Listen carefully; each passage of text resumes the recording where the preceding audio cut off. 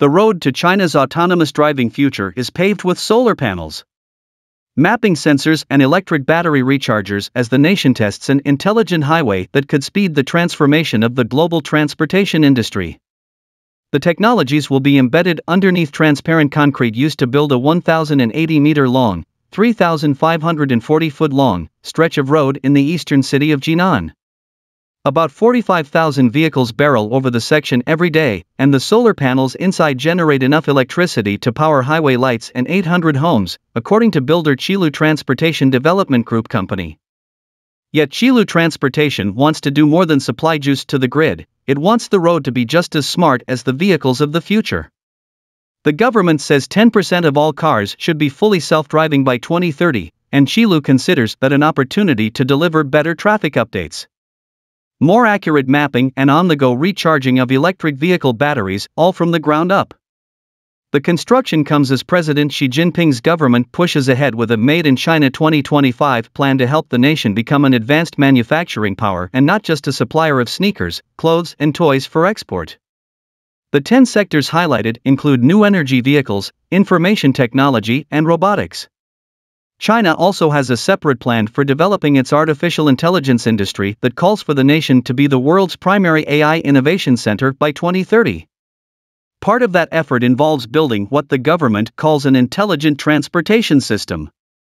Coordinating the development of autonomous driving cars and intelligent road systems is a focus, said Yuan Peng, the deputy head of the Transportation Ministry's Science and Technology Department. Step 1 makes up a section of the expressway surrounding Jinan, an old industrial hub of about 7 million people that's home to China National Heavy Duty Truck Group. Which is also known as Sinotruk and includes Volkswagen AG MAN SE as a minority shareholder. Zhejiang Geely Holding Group also has a plant there making Geely brand cars. The road has three vertical layers, with the shell of see through material allowing sunlight to reach the solar cells underneath. The top layer also has space inside to thread recharging wires and sensors that monitor temperature, traffic flow, and weight load. The solar panels spread across two lanes, which feel no different to a driver than the regular road, and are thinner than a 1 yuan coin standing on its edge. The test road is too short to deliver wireless recharging at the moment, Zhou said. Qilu Transportation didn't give a time frame for installing the sensors to transmit data and power to EV batteries. The road has an estimated lifespan of 15 years, matching that of traditional asphalt highways. In 2016, French construction company Bouygues SA started testing a 1 kilometer road in Normandy with solar panels layered on top. Tests of the Wattway road since have expanded to 20 locations, said Etienne Gaudin, who oversees the project at Bouygues Colas Group Roadwork Division. Wattway's focus is generating electricity, and the company has no immediate plans to charge moving EVs, he said. Colas will start selling the project next year, prioritizing smaller locations such as charging stations and parking lots where traffic won't block sunlight, Gaudin said. China will have 30 million vehicles with different levels of autonomous features by 2025, said Yu Kai, founder of Horizon Robotics Incorporated. A Beijing based startup developing semiconductors for those types of cars. Relates to China's built a road so smart it will be able to charge your car. A monitor shows the amount of energy generated by the solar panels. Photographer, Qilai Shen slash Bloomberg.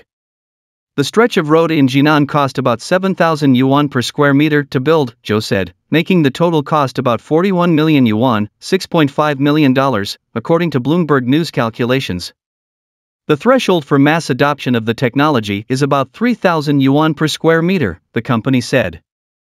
The initial costs are high because Qilu's research and development team developed the technology and made the materials in its own laboratories, and the costs should come down as the components are mass produced, Zhou said.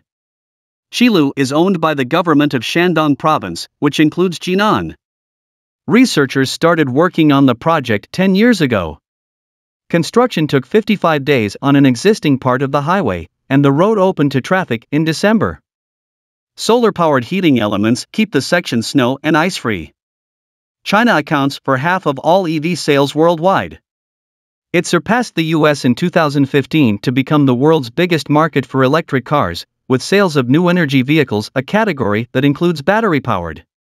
Plug in hybrid and fuel cell cars, possibly surpassing 1 million this year, according to the China Association of Automobile Manufacturers.